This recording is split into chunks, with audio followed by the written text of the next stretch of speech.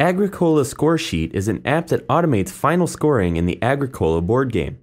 Simply start up the app and enter the name of the first player to begin. From here, you can then add up to an extra four players with the Add Players button. With this done, simply enter in the game information for each player as you play, and Agricola score sheet will update the scores in real time.